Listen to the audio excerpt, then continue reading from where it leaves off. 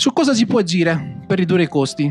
Beh, in questo momento è sotto gli occhi di tutti, no? i costi delle materie prime che sono ovviamente alle stelle. Posso agire su quello? Verosimilmente è complicato, nel senso che noi non controlliamo la filiera, è un qualcosa che rientra tra quella sfera che noi non possiamo controllare. E quindi diventa complicato ridurre i costi andando a, ad abbassare i costi di acquisto delle materie prime. Anche perché magari fino a un anno fa si poteva anche trovare un punto d'accordo con un fornitore, oggi c'è talmente tanta richiesta che se non vendono a noi, figuratevi se hanno problemi nel vendere ad altri, quindi diventa anche più complicato da questo punto di vista. Posso ridurre i costi andando a ridurre quelli che sono i costi di produzione? Sì, è fattibile, ma di certo non è semplicissimo. Perché?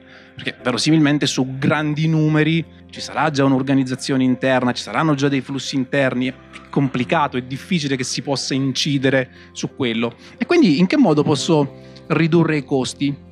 Beh, partendo da questo qua, dei costi di gestione aziendali. Perché? Perché l'azienda è l'unica cosa che noi possiamo controllare. La nostra azienda è l'unica cosa che noi possiamo controllare.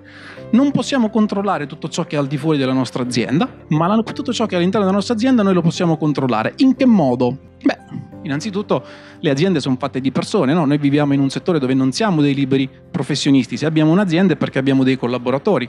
E quindi ci chiediamo ogni tanto quanto quei collaboratori sono davvero autonomi.